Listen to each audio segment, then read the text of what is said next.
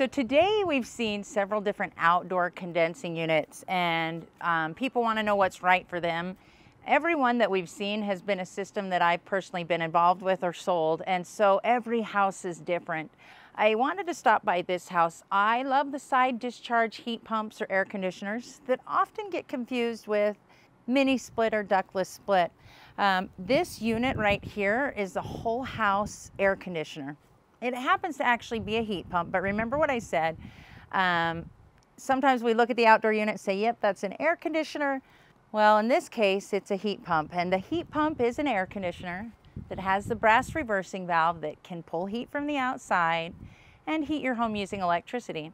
Um, if you have issues with clearances um, or you want to put the unit under a deck, this is a great option. Um, most of the manufacturers have now come out with a side discharge air conditioner. And so when we talked about you um, at my house putting your hand on top of an air conditioner, and if you feel the heat, that means that it's the refrigeration process is working, the heat is being pulled from my home for air conditioning and expelled outside. Well, in this case, uh, it would come out the side and not the top. So um, the units are extremely quiet. I don't know if you can hear that little teeny humming in the background. That's how noisy it is, extremely quiet. Um, so really quiet on noise. Physical size, um, this home is about 3,600 square feet.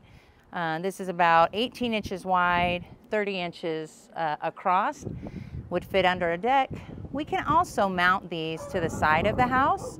So they're not really no, no clearance requirements necessary. So you'll notice that this unit is up on a stand and it's because it is a heat pump. So as it, as it cools down outside and this unit is um, heating, at a certain point it'll become more efficient to use the gas furnace.